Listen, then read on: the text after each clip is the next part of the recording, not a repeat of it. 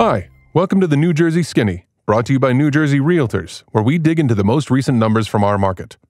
Quarter four continued the rebound in housing activity seen in the third quarter, with buyer activity remaining high while seller activity remains too weak to bring supply into balance with demand in most market segments.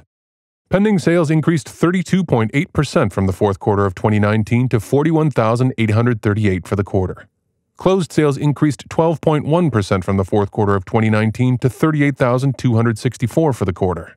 Sales were up over the last quarter, despite a lack of inventory in the market.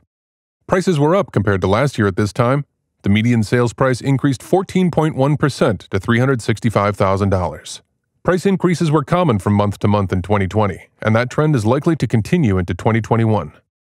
Inventory levels market wide decreased 32.9% to 36,134 units. Inventory remains down in year over year comparisons, and 2021 should offer reason to watch this metric more closely than in recent years. Month supply of inventory was down 36.4% to 3.5 months. Months of supply declined, as inventory has not kept pace with demand. Percent of list price received at sale rose to 99.1% since last year. The 2021 housing market looks to start the year with continued strong buyer demand, near record low mortgage rates, and limited supply of properties for sale in many market segments. While market fundamentals are strong, the resurgence of COVID 19 in recent weeks leaves some uncertainty on the potential impacts to the economy, the housing market, and the country overall as we wait for the deployment of the vaccines to bring some stability and normalcy to society.